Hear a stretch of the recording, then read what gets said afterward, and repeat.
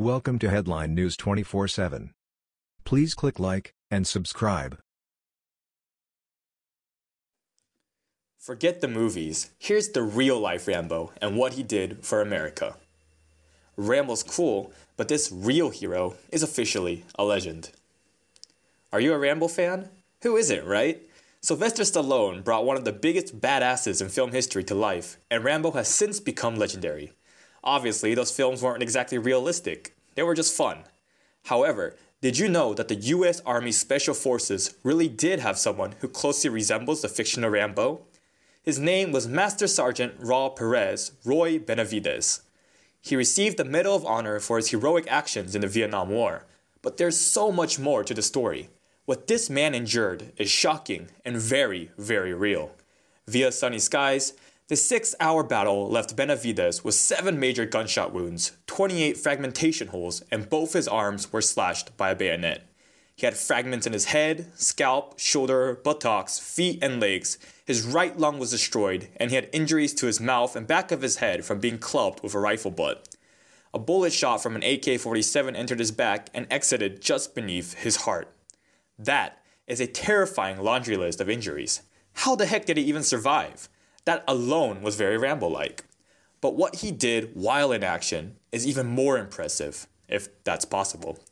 It began when his team met heavy enemy resistance on the ground and requested emergency extraction.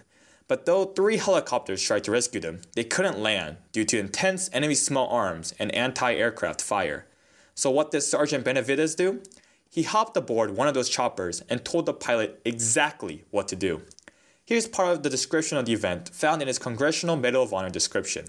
Realizing that all the team members were either dead or wounded and unable to move to the pickup zone, he directed the aircraft to a nearby clearing, where he jumped from the hovering helicopter and ran approximately 75 meters under withering small arms fire to the crippled team. On his way to reaching his comrades, Benavidez sustained those aforementioned injuries, but he didn't stop. He just kept going. Despite all his awful wounds, he carried and dragged half of the wounded team to the waiting helicopter.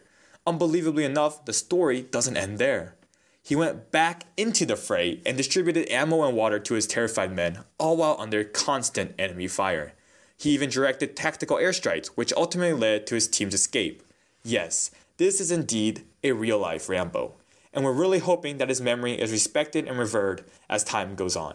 After all, this is real life a real horrifying war situation, and a true blue real hero emerged.